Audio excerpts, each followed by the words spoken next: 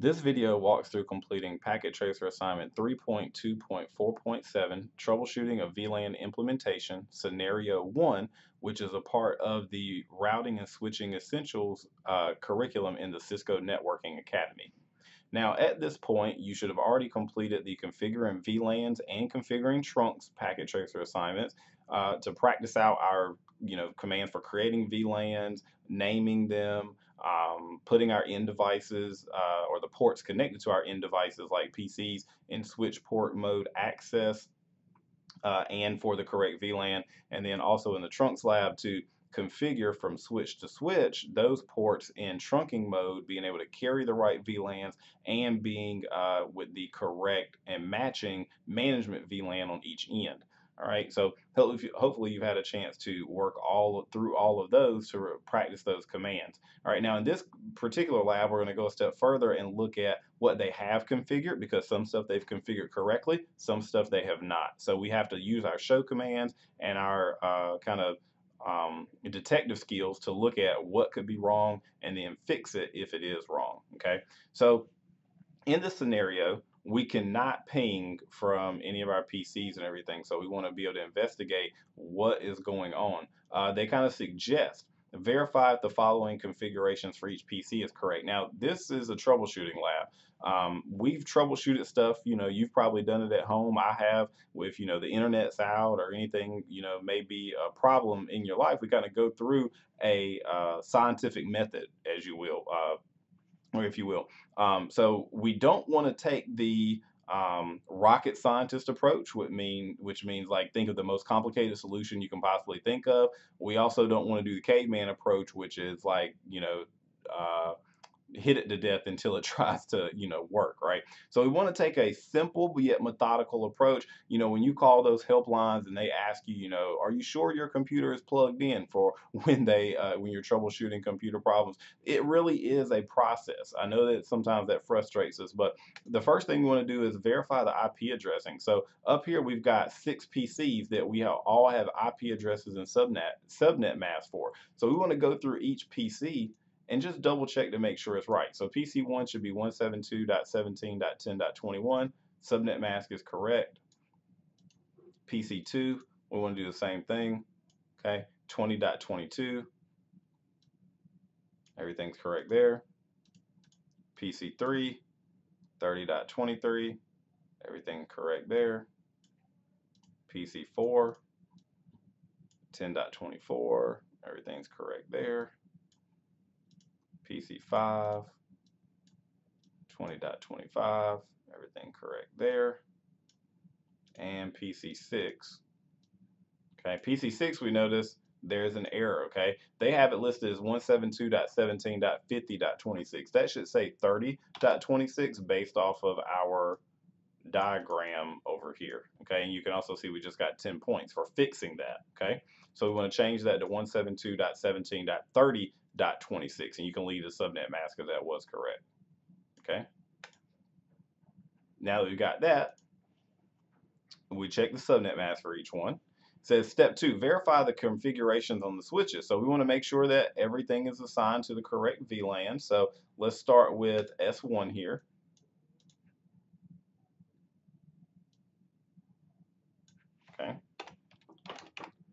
we can do a couple things. Let's do a show VLAN brief since we know we're working with VLANs. Okay. We don't have any end device, you know, devices to worry about here. Um, we should have our G0 our G gigabit Ethernet ports in the um, correct VLANs because if you notice switch one, no end devices, but we do need to be able to carry all traffic from switch 1 to switch 2. And the same issue is in this lab. This should be G01 and G01, G02 and G02, okay? Not the labels that they have. So um, we want to make sure to be able to uh, carry the correct traffic. And remember, even though they're configured in trunk mode on each end, we also need um, there's three things. You need it in trunk mode. You need the right management VLAN to match on each end, which in this case should be 99, okay? And you also need the correct VLANs carried. So we need to carry 10, 20, 30, and 99, okay? So let's do a show run. That one you know, we learned in Net 125, but it's very good because you can see what they've configured on each port. So gigabit Ethernet G01 on switch 1, which is connected to switch 2's G01. They've got switch port trunk native VLAN 99, but they've got it in access mode. So we need to fix that. So you can write that down. We need to fix gigabit Ethernet uh, G01. So let's go ahead and fix that first. So interface G01. We need to change that to switch port mode trunk instead of switch port mode access. Okay. Secondly, and we can leave that there, that is correct, the management VLAN, but we also need to change the VLANs that it's carrying. So we need to do switch port allowed VLAN 10, 20, 30, 99. Oh, sorry, switch port trunk allowed VLAN 10, 20, 30, 99. Now, I don't think the packet tracer is grading that, but you do still want it there in a real world situation. And then on G02, let's look at that. That's connected to switch 3. Switch port mode trunk, switch port trunk, native VLAN 99. But I'm still going to go in here into G02 and do switch port trunk allowed VLAN 10, 20, 30, 99. Okay. Those two are not graded, but the one that is graded is making sure you change G01 to switch port mode trunk. Okay. Now, it keeps giving you an error. So something's wrong with S2, right? So let's go check S2 out anyway.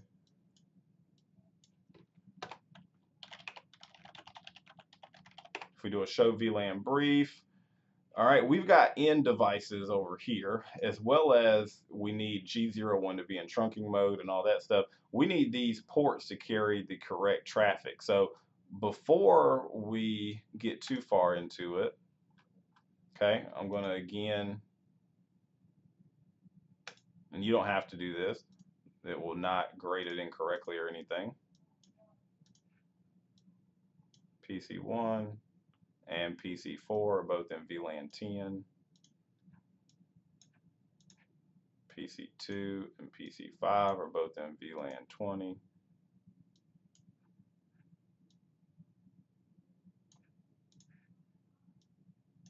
PC3 and PC6 are both in VLAN 30.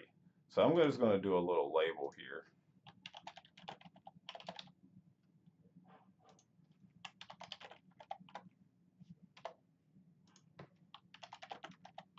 just to remind myself as I'm going through the lab.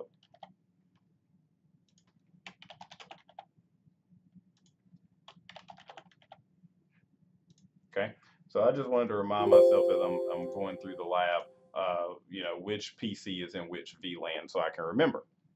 All right, now, um, as we're looking at S2, so VLAN 10, okay, should have port FA011 signed. We don't see that.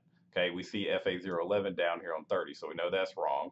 Uh, VLAN 20, it shows in FA018, that's correct. And VLAN 30, FA06, so that is correct. But this one right here, FA011, needs to be in switch port uh, or for port 10. So let's go ahead and fix that. Interface FA011 and we need to do switch port mode access. If I could spell it. Switch port access VLAN 10. Okay. And let's do a show run in general just to look at what's going on here. So again, interface FA011, we got that right. Switch port mode access, switch port access VLAN 10. Uh, 18 is correct for carrying 20 traffic to PC2, and 6 is correct for carrying 30 traffic to VLAN uh, or to, to PC3. Now we do also, we have G01 on S2 that's connected to S1, so we need switch port mode trunk and we see switch port mode access the native VLAN is correct, but we need to change this to switch port mode access. So let's go handle that. Interface G01. and we need to change that to switch port mode trunk. And again, I always do switch port trunk allowed VLAN 10, 20, 30, 99. Okay. So now if we go back and do a show run again, we should see that changed right here for G01. Also, if we do a show VLAN brief, we should see these worked out in the correct order as well. Okay.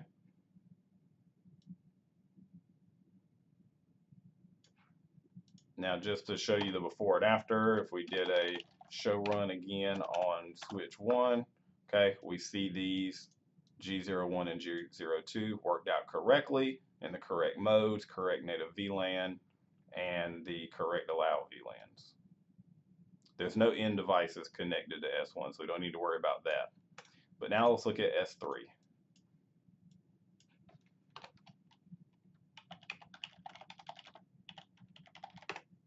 Okay.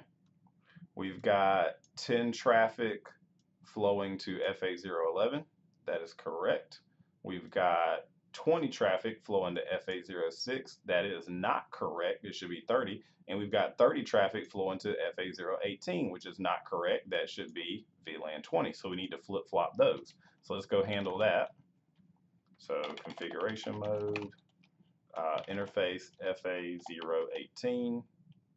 Okay, we need switch port mode access, switch port access VLAN 20. interface FA06, switch port mode access, switch port access VLAN 30. Okay. So now if we go back and repeat the show VLAN brief, we should see these worked out in the correct order now. Okay. If we do a show run, let's look at our, you should see the exact same things here for FA011, 6, and 18. Okay, let's look at our gigabit. We got G02 connected to S1. We see switch port mode trunk, switch port trunk native VLAN 99. Now again, that should work. Uh, I'm just going to go in though and still do, and this is not graded.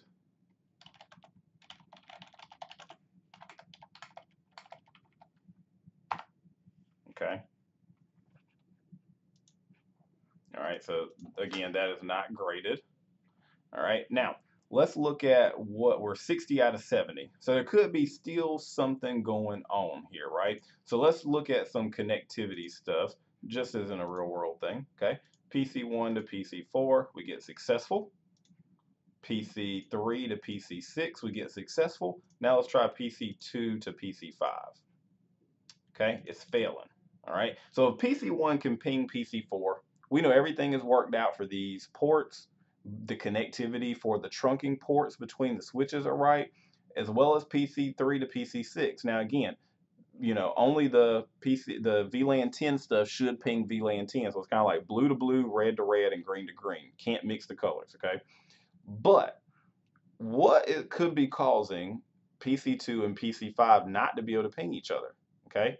So we can get all the way across the network for these other ones. We've double checked to make sure our VLANs are in the correct spot. So let's think about in terms of physical connections. What could be the issue? Well, if you hover your mouse, because this label says FA018, but that does not mean it's actually plugged into FA018. So let's look over here. If we hover our mouse over the green dot, it says FA018. That's correct, right? But if we hover our mouse over this FA018, what is it, or this port, what does it say? FA017. So if we take our mouse here to unplug it, you click it, and then we're going to plug it back in to switch 3 but in FA018 because before it was actually in the wrong port. So even though we configured everything correctly, it was plugged into the physical wrong port on the actual switch. So everything was working, but you know, it was plugged into the wrong port, so it's not going to actually work. All right, so once this becomes green, and you can press the fast forward time button a couple times to get it to go ahead and, uh, you know, configure. So now let's try from PC2 to PC5 and we get successful. So that was the last thing and we got 70 out of 70. So again, when you're troubleshooting this stuff, you really need to remember your show commands like show run. Uh, that'll show you a lot, even though it's kind of the most simplest. Um, the uh, show VLAN brief in this case for our VLAN configurations will help as well. So uh, it depends on what you're doing, but again, make sure you're methodical in your approach and um, you know kind of checking off what you've done. And you never want to just wipe everything out and start over, and you never want to go too complicated. All right. So that concludes lab assignment 3.2.4.7.